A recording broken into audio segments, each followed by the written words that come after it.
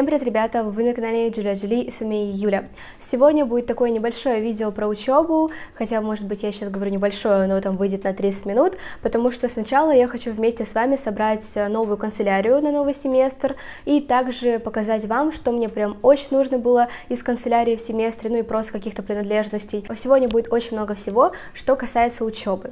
Также потом я хочу сделать небольшой такой разговор по душам, то есть просто поговорить, рассказать вам, что мне нравится, что не нравится, ставьте лайки, подписывайтесь на мой телеграм-канал, подписывайтесь на мой YouTube канал, ссылочка, кстати, на телеграм-канал в описании. Там я каждый день с вами, поэтому подписывайтесь, жду вас. И поэтому сегодня давайте начинать, буду вам рассказывать все, погнали! Все субъективно, то есть это лично мое мнение, это моя оценка, нужны мне эти вещи или нет, что купить и так далее. Я учусь в Российской таможенной академии на экономическом факультете на направлении финансовый менеджмент. Вот у меня студенческий, вот у меня тут студенческий. Наверное, многие спросят, зачем тебе вуз пенал, там как бы по факту нужна только одна ручка, но знаете, честно сказать, что я просто, наверное, со школы еще так привыкла, что моя мотивация, вообще просто мое настроение зависит также и от того, что я беру с собой. Показать сначала все пеналы пеналов, которые у меня сейчас есть в ВУЗе. Конечно, их намного меньше, чем в школе, потому что многие я дала сестре, многие просто выкинула, потому что, ну, правда, их много не нужно, но покажу вам, что вообще у меня есть. Во-первых, я люблю сейчас маленькие пеналы, потому что многое мне складывать с собой не нужно. Под конец семестра у меня вообще там была одна, знаете, ручка, которая и так еле писала, потому что я все никак не могла купить себе нормальные ручки. Четыре пенала, именно старых, это вот такой пенал от Лилка, ну как старый, я их в течение года покупала, или в начале года. Такой вот пенал, он прям очень удобный,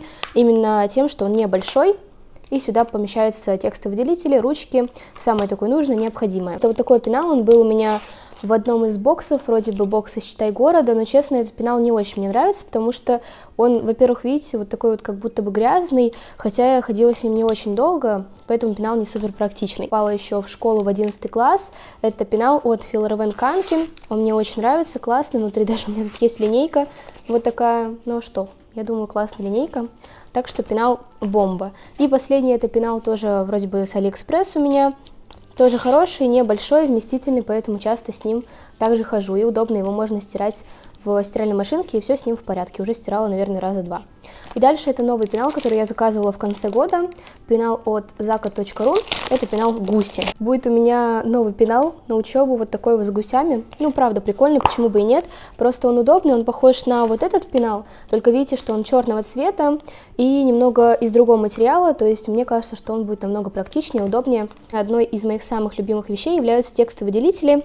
Они на самом деле как в школе мне постоянно нужны были, так и в ВУЗе. Даже, наверное, честно, в университете они мне больше пригождаются. Я купила вот такие вот тоже еще в конце декабря, это была вся посылка zaka.ru, поэтому если я буду говорить от Зака, значит, я купила их в конце декабря. Такие вот милые маленькие текстовыделители, как написано, 6 э, милых мини-хайлайтеров, и они в виде котеек. Такие вот прикольные, почему бы нет, но, правда, поднимают настроение, очень милые, и тут можно много брать с собой цветов, и в пенал все влезает, потому что часто, знаете, хочешь взять побольше текстовыделителей разных цветов, но в пенал не влезают, а тут вот так вот кладешь их и все. Я очень люблю ручки, поэтому тоже их заказала zaka.ru, вот такие вот. Они перламутровые, я уже ими пользовалась, рисовала, и мне они понравились. Но ручки я буду, конечно же, брать не все. Такой вот оттенок, такой оранжевый, красный, красивые, и тоже почему бы их не взять, поэтому складываем пенал. Дальше, наверное, одна из самых-самых важных вещей – это флешка. Флешка, правда, очень часто пригождается в ВУЗе, поэтому как только вы поступаете на первый курс, купите обязательно флешку. Возможно, в каких-то факультетах по-разному и направлениях, но у нас в ВУЗе всегда нужна флешка, у меня она поэтому находится в пенале. Дальше я беру вот такие вот стикеры. Вы спросите, зачем они также мне нужны. Они мне нужны для того, чтобы помечать в самих, допустим, конспектах необходимые темы. Тоже я часто ими пользуюсь. У меня уже закончилась одна такая вот, так скажем, пачка стикеров, и поэтому сейчас я вот открыла новую, тоже складываю. Решила сейчас положить такой вот новый карандашик, он у меня еще с сентября, до сих пор новый, потому что карандаши в ВУЗе это, наверное, одна из самых бесполезных вещей, но если вы не учитесь на каком-то направлении, где нужно там, допустим, рисовать и так далее, а так я справляюсь без карандашей, даже в школе я редко пользовалась карандашом, потому что я считаю, что это не очень удобно, есть ручка, зачем он нужен. Но также я беру, конечно же, ручки, которыми писать, и честно, у меня с этим всегда проблема, они очень быстро заканчиваются, когда ты много пишешь, я очень много пишу и люблю много писать, поэтому ручки у меня просто просто улетают на раз-два, поэтому у меня осталось сейчас две вот таких ручки, я их недавно купила, положим их пока что. Ну и на самом деле вот в магазин как-то все не хочу зайти, не могу, наверное, пригодился на математике, когда были какие-то контрольные, потому что телефон как бы нельзя использовать, а есть какие-то задания, которыми как бы долго очень решаются, и можно пользоваться калькулятором, чтобы решить намного быстрее, потому что там задания реально очень большие, и калькулятор нужен, но пользовалась я им вот раза два, наверное, за семестр, но все равно положу в пенал, вдруг в этом семестре он реально понадобится. Так что, в принципе, это весь пенал, который можно с собой взять. Я еще положила в пенал, это бальзам для губ. На самом деле, конечно, бальзамами для губ пользуется не каждый, можно их не брать, но я просто часто-часто пользуюсь им, поэтому беру с собой, складываю именно в пенал, чтобы не забыть. Вот так у меня выглядит. Я заказала недавно новый прям бальзамчик для губ, он у меня с лимоном. Кстати, друзья, я думаю, что многие, кто сейчас э, смотрит это видео в 11 классе. И скоро, конечно же, все-таки уже сдача ЕГЭ. Уже даже наступил 2023 год, поэтому, как бы грустно это ни звучало, но совсем скоро многие одиннадцатиклассники, конечно же, сдают ЕГЭ. И знаете, есть такой стереотип, что вот русский язык это самый такой легкий предмет на экзамене. Каждый год многие люди надеются на удачу и думают, что к русскому языку совсем не нужно готовиться. На самом деле это не так, потому что к русскому языку необходимо готовиться. Я сама сдала его на 94 балла, но эти 94 балла я получила лишь потому, что я готовилась к этому экзамену. Я хочу вам посоветовать сейчас очень классный канал, который я нашла на ютубе и который вам точно поможет подготовиться к ЕГЭ по русскому на высокие баллы. Называется этот канал «Русский язык» с Нелли Лотман. Неля проводит прямые трансляции по темам, необходимым для экзамена. Есть разборы тестовых заданий. Неля поможет как с запоминанием орфографии и пунктуации, так и с написанием сочинения без грамматических и речевых ошибок. Помимо этого, у нее на канале есть видео просто с лайфхаками, которые вам помогут а, намного лучше сдать экзамен, и с советами по подготовке. Чтобы подготовиться к ЕГЭ по русскому языку, необходимо просто подписаться на канал, поэтому ссылочка в описании, подписывайтесь. Кстати, сама Неля закончила направление зарубежная филология, сдавала трижды ЕГЭ по русскому языку на 90+. В онлайн-образовании она уже четвертый год, поэтому ей точно не страшно доверить свою подготовку. Оставляю ссылочку на данный интересный канал в описании. Не забывайте, что вы поступаете по сумме баллов, поэтому все предметы учитываются одинаково, потому что суммируются вместе. Поэтому не забывайте про русский язык и готовьтесь качественно. Наверное, то, что бы я точно посоветовала купить, это блочные тетради. Я купила всего две блочные тетради на начало года и очень пожалела и докупила еще две. Эту я заказывала на Wildberries, эту я покупала вроде бы в магазине Лилка, честно, уже не помню, но вот она была у меня на начало года, и я думала, что я в ней буду вести все предметы, но, честно, не очень удобно вести в одной тетради прям очень много предметов, максимум я вела где-то 3-2 предмета, и все. У меня уже есть такие вот листочки, Синие, допустим, и просто обычные, я покупаю разные. У меня тут даже есть один разделитель, закончились в прошлом семестре. Тут у меня было право, БЖД, то есть безопасность жизнедеятельности, и вроде бы все, два предмета тут было.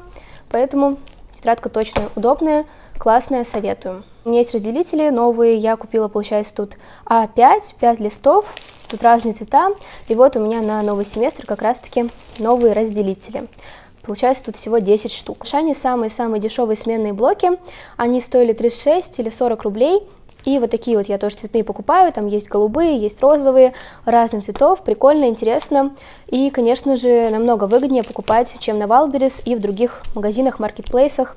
Советую лучше в Ашане, там дешевле всего. Скажу, что я покупала на начало первого курса, но так и не воспользовалась, и почему, и буду ли пользоваться. Первая такая вот тетрадка, возможно, я буду и пользоваться для какого-то предмета, потому что она довольно-таки большая, красивая, интересная, но всегда, честно, удобнее использовать блочную тетради, ты туда сложил несколько предметов и все. Вот это, наверное, вряд ли прям буду пользоваться только для ежедневника, может, каких-то своих записей, потому что она очень тоненькая, и, честно, на какой-то предмет, если там мы вообще писать не будем, то, возможно, ее можно использовать, но а так она прям очень-очень тоненькая и небольшая. Дальше это вообще не тетрадь, просто почему-то тут лежит.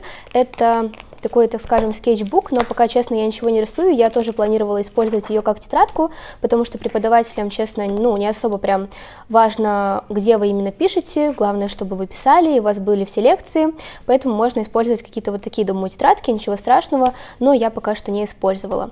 Далее, это вот такая тетрадка, она тоже тоненькая, я ее покупала вроде бы в Лилка, она небольшая, поэтому я ее никак и не использовала, но, возможно, тоже на какой-нибудь предмет можно будет использовать. Кстати, возможно, я буду ее использовать для английского, потому что английский я в прошлый раз вела 48 листов, то есть семестр, и сейчас в новом семестре тоже можно использовать 48 листов. И есть последняя тетрадка, даже не тетрадка, тоже скетчбук, я тоже думала использовать как-то для каких-то записи, возможно, буду использовать, возможно, нет, но тут очень много листочков, просто белых, поэтому я ее и взяла. У нас шел предмет один семестр, поэтому я использовала такую тетрадку 48 листов, вторую у меня была, и, в принципе, возможно, тоже буду использовать. Дальше у меня тетрадка подписана как информатика, но тут не было информатики, поэтому вот такие тетрадки у меня остались еще с прошлого семестра. Буду их использовать и, в принципе, докупать ничего, скорее всего, не буду, если только сменные блоки. Так, дальше я вам покажу сейчас, что я использую вообще на учебу, именно из сумок и так далее. Начнем с этой сумки, но я ее прям недавно купила, еще даже не успела, конечно, ходить с ней на учебу, но сюда, честно, не влезают тетрадки, поэтому можно, конечно, попробовать, но такую решила вам тоже показать, просто черная и как бы подходит немного на учебу. Дальше это сумка, которую я ношу, когда у меня, допустим, там две пары и небольшие тетрадки, допустим, как английский язык, то есть у меня это 48 листов, и деловые коммуникации, у меня тоже была тетрадка 48 8 листов, сюда прекрасно помещаются. Да даже тетрадка обычная блочная тоже сюда пойдет, поэтому, когда у меня мало дисциплин, допустим, в один день, я ношу вот эту сумку, она удобная и, в принципе, легкая. Мой рюкзачок, но я его тоже не часто ношу, потому что сюда не все тетрадки помещаются.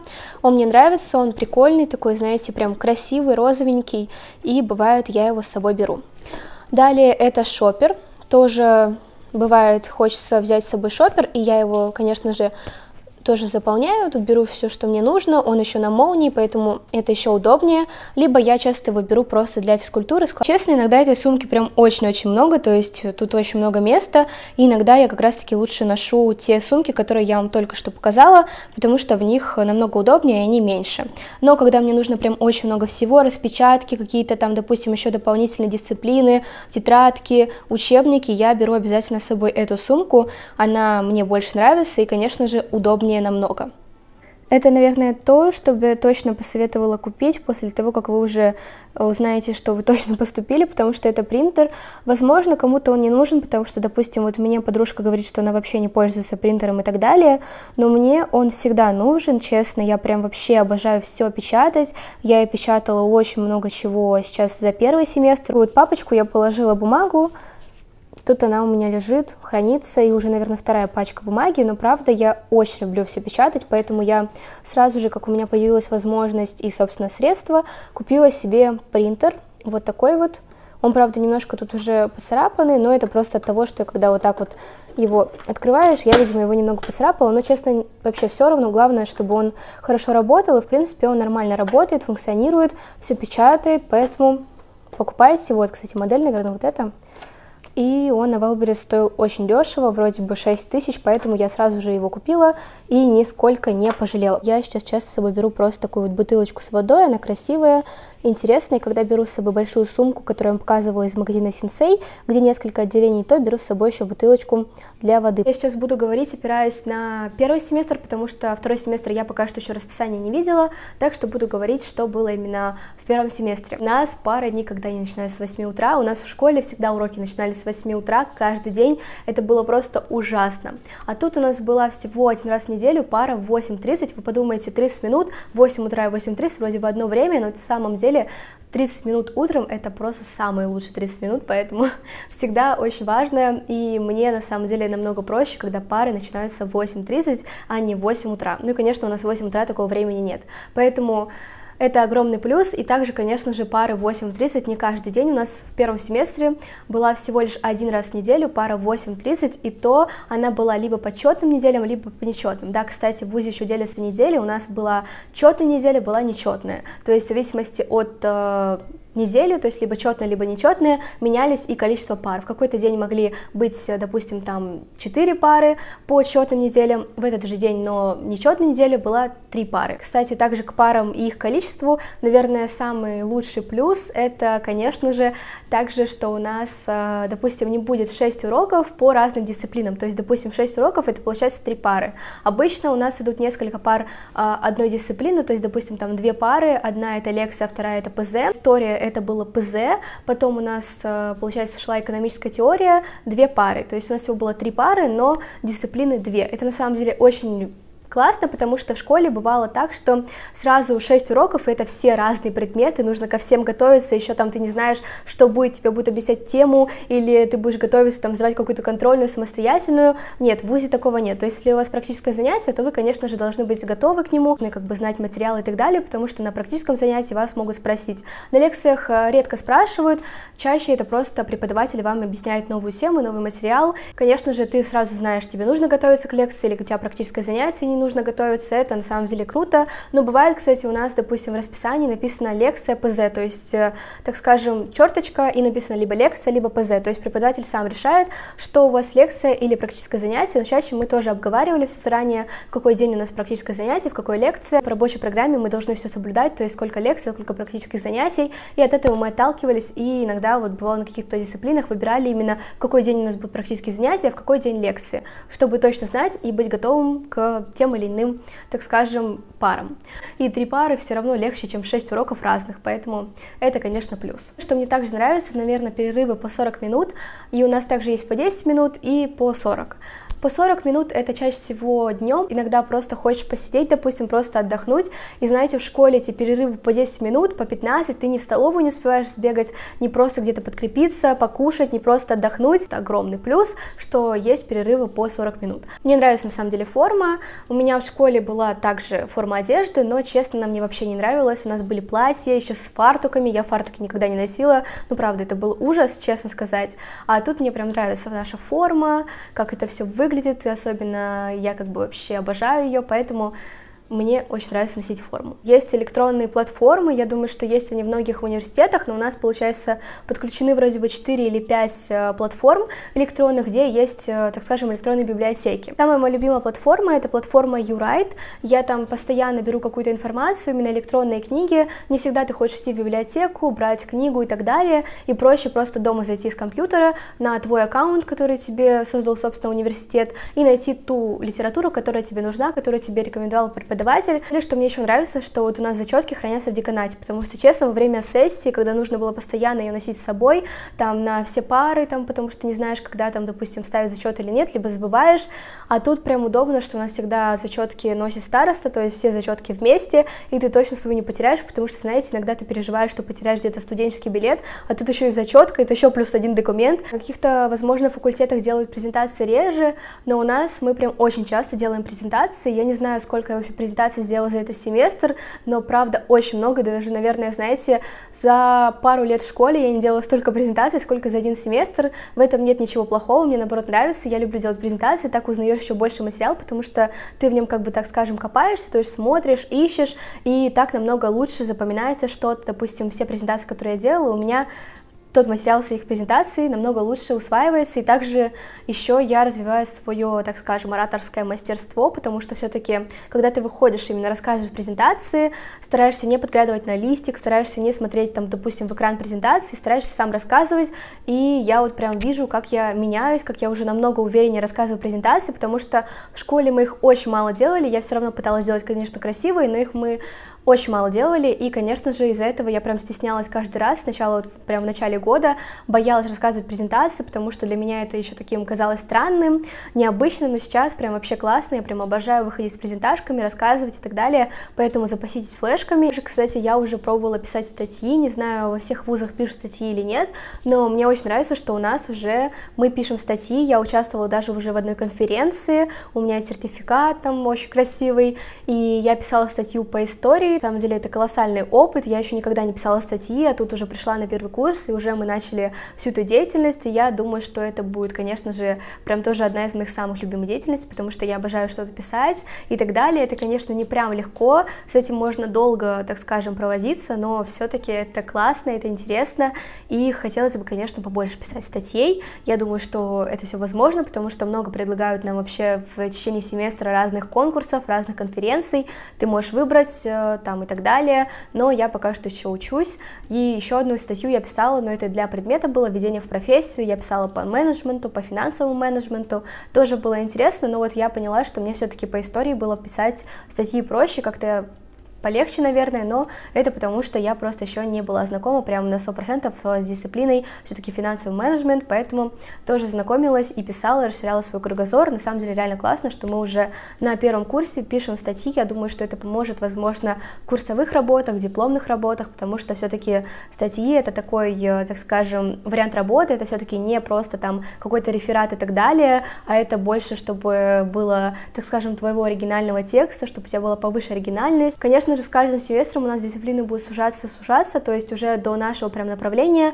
до нашей, так скажем, профессии и так далее, и, конечно же, это круто, но сейчас тоже будет хорошая дисциплина, конечно, экзаменов у нас будет намного больше, у нас будет три экзамена, еще один зачет с оценкой, в этом семестре у нас был один экзамен по истории, я его сдала на 5, также у нас был дифференцированный зачет с оценкой, это был русский язык, вот, кстати, он тоже как бы такой общеобразовательный был. И я сдала его на 4, точнее, я сдала коллоквиум практически на максимум, но у меня по баллам а, была четверка, не хватило там вроде 3-4 баллов до пятерки. Я, конечно, довольна собой, рада, но с каждым семестром, наверное, будет сложнее и сложнее. Буду пытаться, буду стараться, надеюсь, что все получится. Что, наверное, не меняется, это, наверное, то, что ты должен быть активным, чтобы тебя запоминали. Возможно, конечно, не все преподаватели тебя запомнят, когда ты как бы отвечаешь постоянно и так далее, потому что студентов очень много, гораздо больше, конечно, чем учеников, учителей в школе, но все равно меня, я поняла, что запомнили многие преподаватели, это было как бы тоже, ну, интересно, но все-таки я как бы активничала на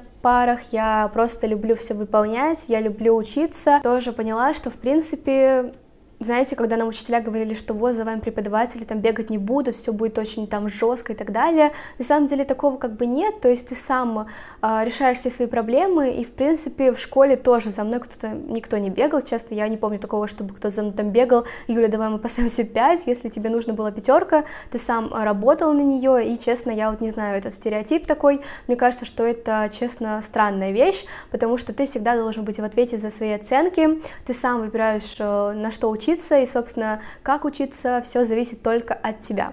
Возможно, какие-то бывают личные, там, знаете, конфликты, но, честно, я такого не встречала. В принципе, это, наверное, все, что я хотела сегодня вам рассказать. Немножко рассказала вообще того, что мне нужно было именно в университете сейчас, на первом курсе, что я поняла, так скажем. И, в принципе, что могу сказать, мое общее мнение, мне нравится учиться, потому что все-таки, знаете, хоть там иногда бывает на каких-то парах, возможно, неинтересно кому-то, да, кто-то говорит, что вот, там вообще скучно, зачем это учеба и так далее. Мне лично все нравится. У меня ничего особо не поменялось с момента, как я пришла на учебу, когда мне все нравилось, и с момента сейчас. Конечно, возможно, немного есть такая усталость именно, но сейчас э, была очень классная так скажем, череда каникул, потому что у нас, получается, каникулы были аж ну, с начала января до 6 февраля. Конечно, у нас был один экзамен, и нам было проще, что мы готовились только к одному экзамену, я где-то готовилась к нему недели две, но все равно как бы были каникулы, не нужно было на учебу, это, наверное, тоже круто. Конечно, мы выйдем а, уже на, именно на следующие каникулы где-то в середине июля, наверное, возможно, в начале июля или, может быть, в конце июня, я пока, честно, не знаю, не особо вдавалась в эти моменты, потому что это прям месяц перезагрузки, это прям то, что необходимо. Как всегда, с вами была ваша Юля, всем желаю счастья, любви, добра, до новых встреч и всем пока-пока.